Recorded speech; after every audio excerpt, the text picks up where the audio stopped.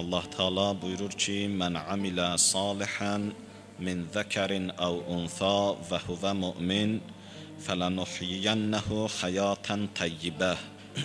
buyurur hər kəs istər kişi olsun, istərsə də qadın salih əməl etsə və mömin olsa, biz ona pak bir həyatı bəxş eləyərik.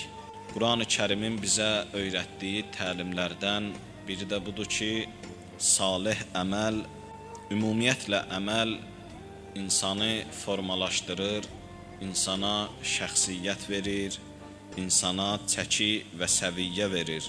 Hər bir insanın şəxsiyyəti, məqamı, dərəcəsi bağlıdır onun əməlinə və Ağa Əmirəl Möminin Əli əleyhissalam da hədis oxuduq buyurdu ki: "Əl-yevm yevmul əməl və qadan yevmul hisab." Bu gün əməl günüdür və sabah hesab günüdür. Qurani-Kərim bu məntiqi bizə bəyan eləyir və öyrədir ki, ümumiyyətlə insan əməldən ibarətdir. Ümumiyyətlə insan elə əməl deməkdir. Necə ki Qurani-Kərimdə bilirsiniz, oxumusunuz, Həzrət Nuh peyğəmbərin barəsində Allah Taala danışanda Həzrət Nuh peyğəmbər Allahdan istəyir ki, Allahın göndərdiyi bəlada onun ailəsi, əhli əyalı nicat tapsın və Allah da buna vəd verir, söz verir ki, bəli, mənim göndərdiyim bu bəladan sənin əhli əyalın xilas olacaq. Amma bilirsiniz ki, Həzrət Nuh peyğəmbərin oğlu getdi çıxdı dağın başına və Qurani-Kərimin bizə buyurduğu bəyana əsasən Həzrət Nuh peyğəmbər Allahdan istədi ki, mənim əhlimə nicat ver, necə ki sən buna söz vermisən, vəd vermisən. Allah buyurdu ki, innehu leysə min əhlik. O sənin əhlindən sayılmır və ardıcan səbəbini də gətirir ki, innehu amalun qeyru salih. Qurani-Kərimin bəyanının gözəlliyinə baxın, buyurur, çünki o salih olmayan bir əməldir. İnsan üçün deyir bu sözü. Demir salih olmayan əməl sahibidir. Deyir o salih olmayan bir əməldir. Yəni insan elə əməldir. İnsanın bütün varlığı əməldən ibarətdir və insan hər dəqiqəsində, hər anında daim hərəkət eləyir və daim əməldədir. Qurani-Kərim bizə buyurur ki, iman təklikdə insanın nicatına və səadətinə səbəb ola bilməz. Biz baxanda görürük ki, Qurani-Kərimdə harda ki Allah imanı qeyd eləyibsə, orada yanında salih əməl qeyd eləyib. Buyurur: "Əllezina amanu və amilus salihat." Salih iman gətirib salih əməl edən insanlar. Yəni salih əməl imanın böyründə olmasa, o imanın heç bir qiyməti olmaz. İslamın əvvəllərində bir məzhəb olub, adına mürciə məzhəbi deyiblər. Firqənin ki, İslamda tanınmış məzhəblərdən biri olub mürciə məzhəbi. Bu məzhəbin özünə məxsus düşüncə tərzi olub.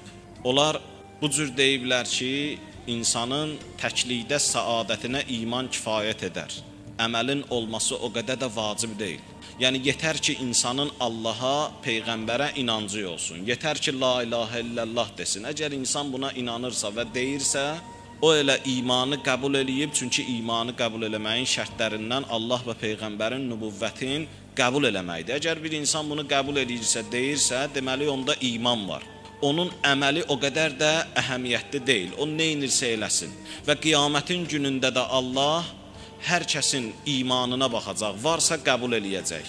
İnsanın bu dünyada imandan sonra əməlləri onun imanına və yaxud da onun çəkisinə, səviyyəsinə, ruhuna, mənəviyyatına təsir qoymur.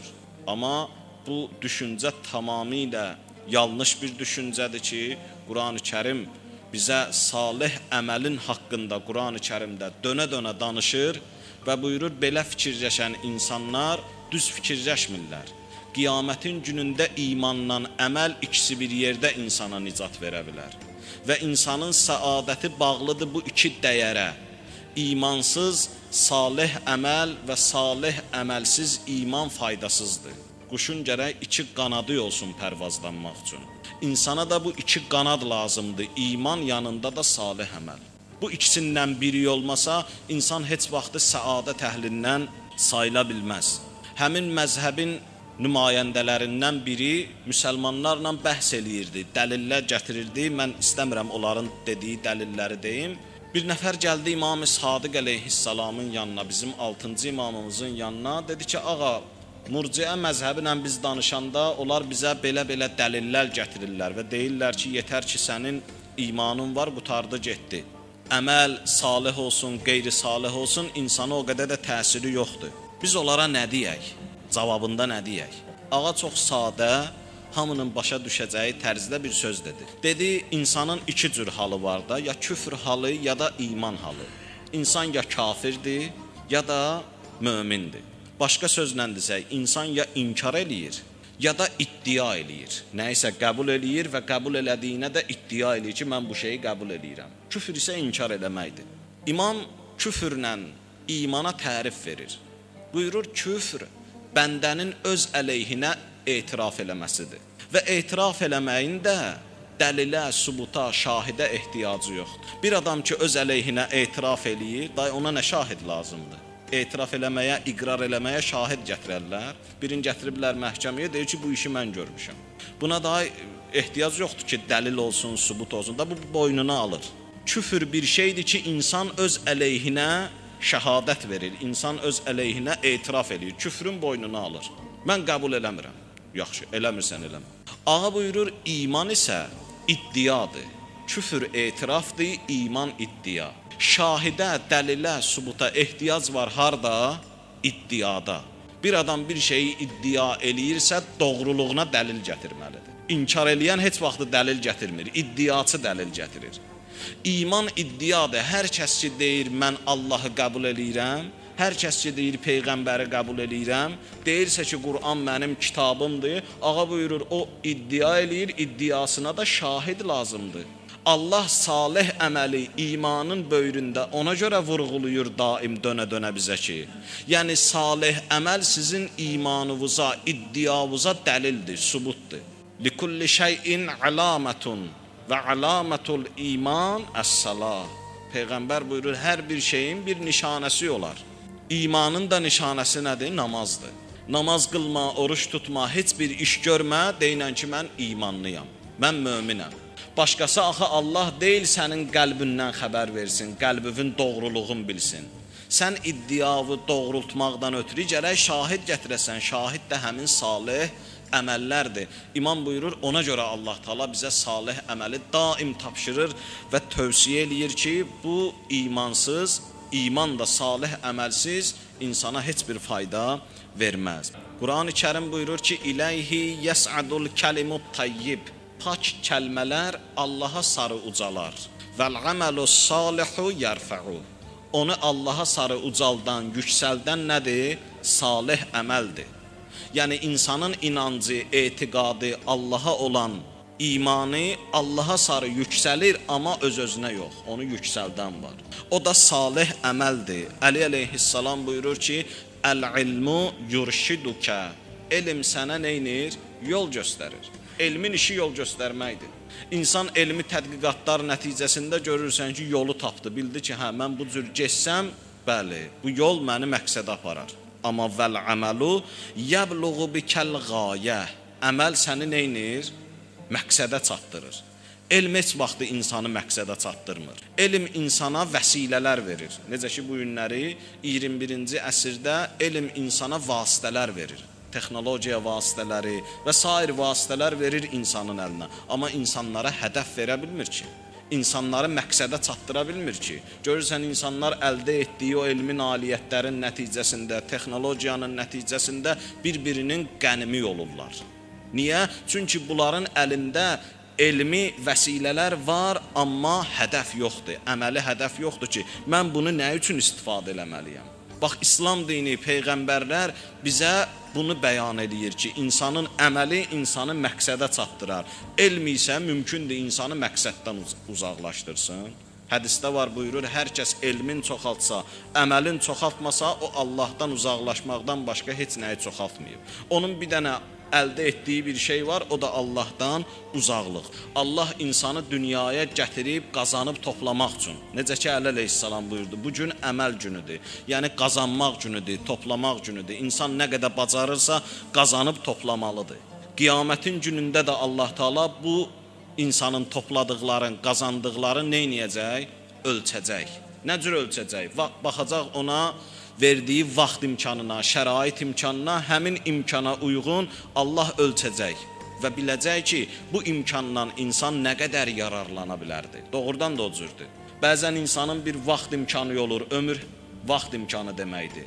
İnsanın şərait imkanları olur ki, o imkanlardan insan istifadə eləyir, bəhrələnir. Amma Allah qiyamətin günündə buyuracaq, niyə bəhrələnmədin? Misal çəkdiyi elə bir bir nəfəri göndəriblər bir vilayətə, orada qazanıb toplamaq üçün çox yaxşı əlverişli imkanlar var. İxlas Və uzun müddət 10 il, 20 il orada qalandan sonra hamı gözləyir ki, bu gələcək, özü də necə gələcək. Amma baxırlar ki, bunun heç gəlməyə əlində heç nəyi yoxdur. Gedəndə yaxşı idi, amma qaydanda, gələndə əlində heç nəyi yoxdur. İnsan da bu cürdür.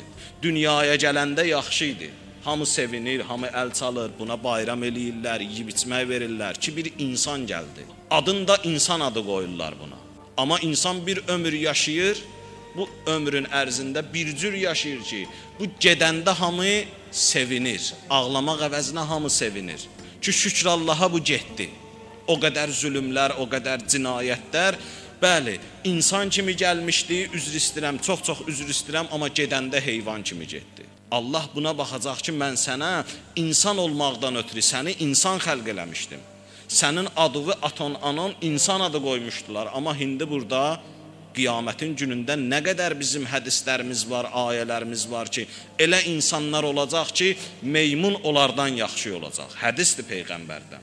Meymunun görkəmi ondan yaxşı olacaq.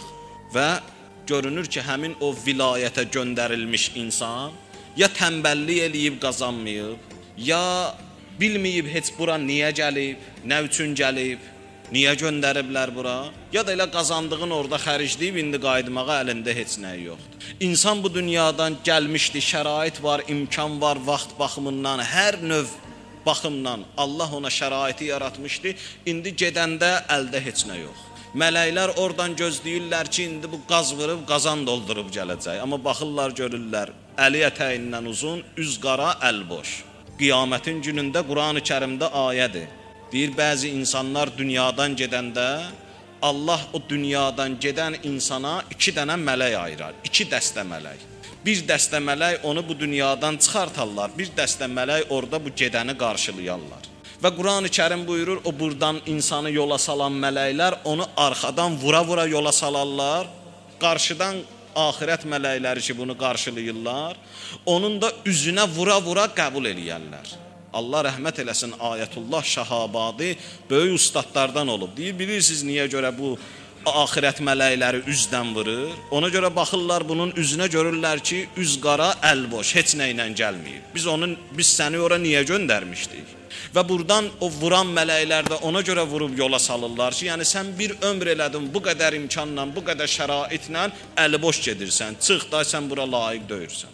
Onların vurması bu mənanı daşıyır.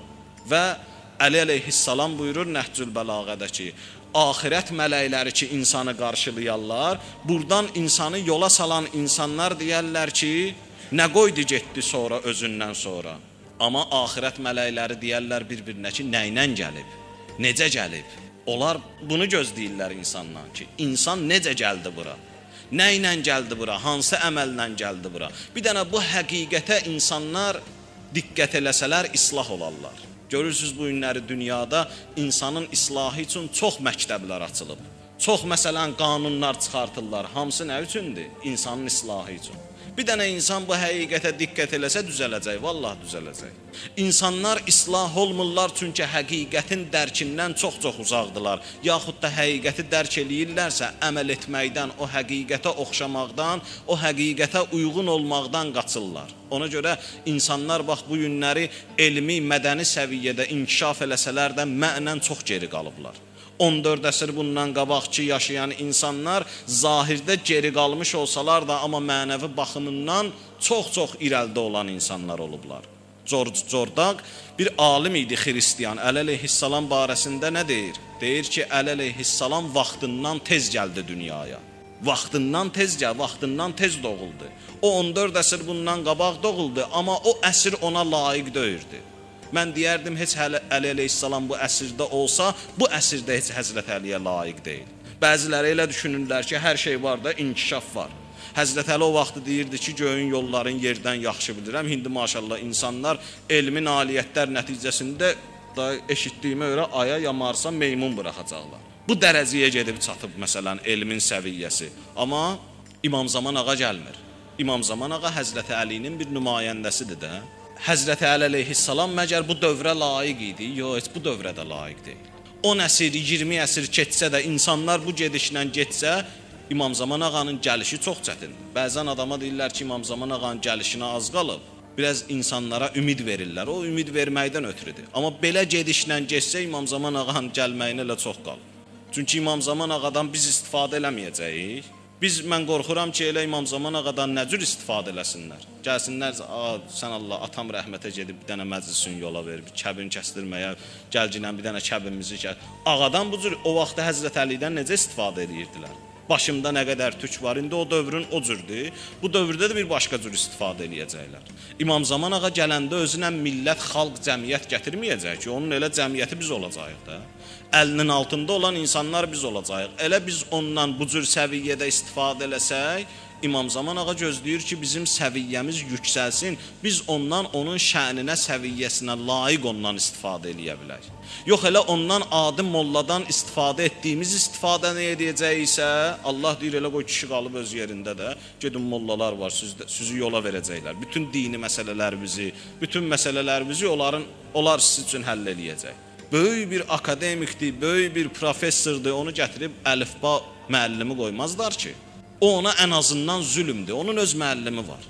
İnsanların səviyyəsi aşağı olanda onlara elə məni kimi mollalar gətirərlər, qoyarlar ki, bunların işlərin yola vercinə. Amma İmam Zaman ağa gələndə onun cəmiyyəti bilirsiniz nə cəmiyyət olmalıdır? Salman Farsilər, Əbu Zərrər, Miqdadlar, Bilallar, Cəmiyyət gərək o dərəcəyə gəlsin, çatsın. İndi nə olsun 14 əsr bundan qabaq yaşayıblar. Mən hər dəfə demişəm ki, Həzrət Fatimə-i Zəhra 14 əsr bundan qabaq yaşayıb, amma düşüncəsinə bax. Səhərdən axşamacan Allaha dua eləyir, axşamdan da səhərə qədər. Oğlu İmam Həsən ağa baxır, görür ki, xanım Zəhra özünü dua eləmədi. Hey qonşuları dua eləyirdi, hey cəmaatı, cəmiyyəti dua eləyirdi. Dedi, anacan bir özünü də dua elə də. Dedi əlcar summəddar. Əvvəl qonşu, sonra özüm, sonra ev. Amma 21-ci əsrdə insanların düşüncəsi tam fərqlidir. Əvvəl özüm, sonra başqası. Gör kim inkişaf eləyib, kim mütərəqqi insandır. Başqasını düşünən, özün yaddan çıxartan, yoxsa başqalarının yaddan çıxartıb ancaq öz fikrində olan insan. Din bizə deyir ki, öz fikrində olan insan mütərəqqi insan sayıla bilməz. İnkişaf etmiş insan o insandır ki, o daim xalqın, millətin, cəmiyyətin dərdi ilə yana. O inkişaf eləmiş insandır. O yaşayan insandır. Ona görə də Allah Taala bizə imanın yanında buyurur ki, salih əməl olmalıdır. Salih əməl olmayınca insan formalaşa bilməz, insan çəkiyə, səviyyəyə qalxa bilməz.